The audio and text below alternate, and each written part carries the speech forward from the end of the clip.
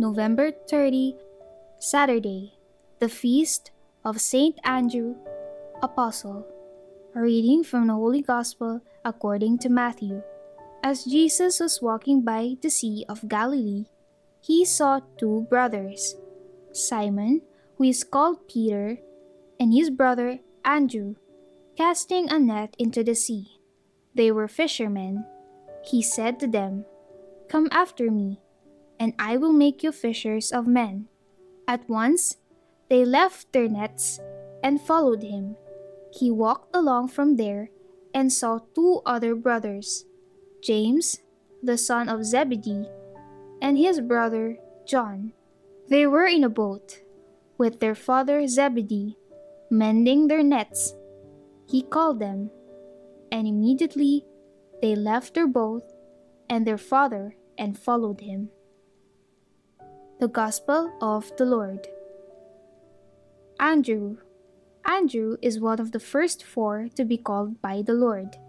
He is the brother of Simon Peter. Like Simon, he is a fisherman. The Gospel of John indicates that he was first a disciple of John the Baptist.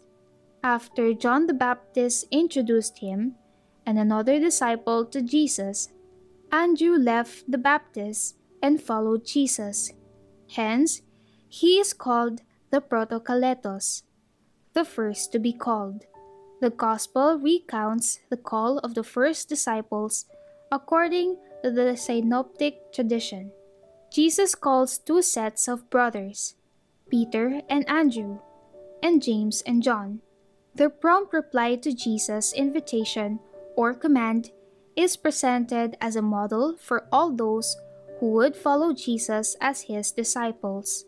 Andrew shows himself a silent disciple when compared to his brother Simon Peter, but a determined one. He has his own way of relating with Jesus. He asked the Master privately about the destruction of the temple, while Philip initially talks with the Greeks. While Philip initially talks with the Greeks who wants to meet Jesus, it is with Andrew that Philip finally approaches Jesus to let him know about these men. In the story of the multiplication of the bread, Andrew speaks to Jesus about the boy who has five barley loaves and two fish.